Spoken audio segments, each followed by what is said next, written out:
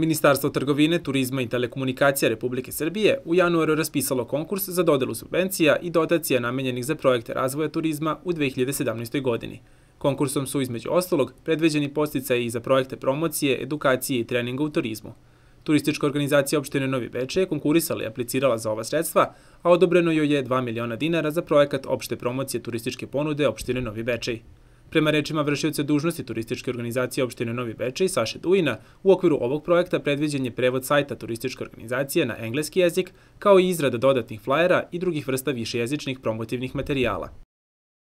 Što se sad redovno događa kao problem je nedostatak bar engleskog, evo sad su otišli naši delegaciji Rusi, nemamo ništa naravno na ruskom, a oni baš i nisu u ljubavi sa, sa engleski, tako da bi morali tu napraviti još neke kompromise i da imamo o, i materijale video o svim našim ilustracijama, znači da pratimo video snimkom, zapisom, fotografijama, da, da, da imamo prosto u, u kolekciji i nešto što je veoma važno, što ćemo da uradimo u, od tih 2 miliona koliko smo na kraju dobili, je i svakako da napravimo određene kolekcije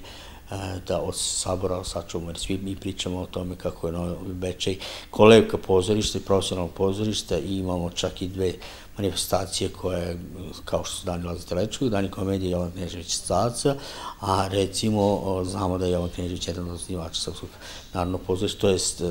većina njegova ansambla je prešla, a kad bi to sad neko od stranih turista ili domaćih želeo da vidi, mi to prosto imamo da pokažemo. Pa smo angažovali i e,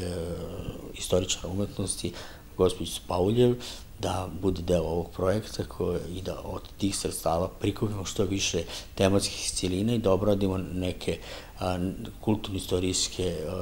momente, ono što je bitno za nas i da imamo stalne stvari, da imamo postavke koje možemo koristiti u datom nekom trenutku za, za to. Ono što ćemo svakako menjati, menjat ćemo vizualni identitet ovih suvenira, a, da budu prilagođeni za svako mesto, jer mi smo ipak turistička organizacija opštine Novi Veče, tako da će svako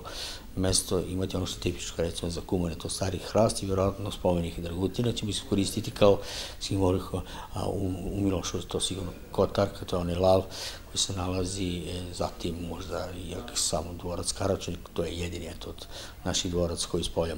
još izgleda i možda slika i u našem vlastištu, a može, znači možemo da da određeni deo bar pustimo, u određeni deo pustimo turist, dok nažalost Sokolac to ne možemo. Ono što takođe e, je definitivno da ćemo raditi iz, iza boča nešto, a, ovih dana ćemo ići do njih da vidimo šta je to što oni